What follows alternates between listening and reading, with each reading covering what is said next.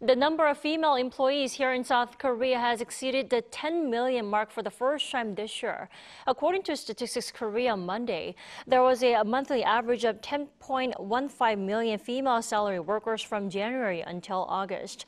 That's approximately 46% of the nation's paid workforce.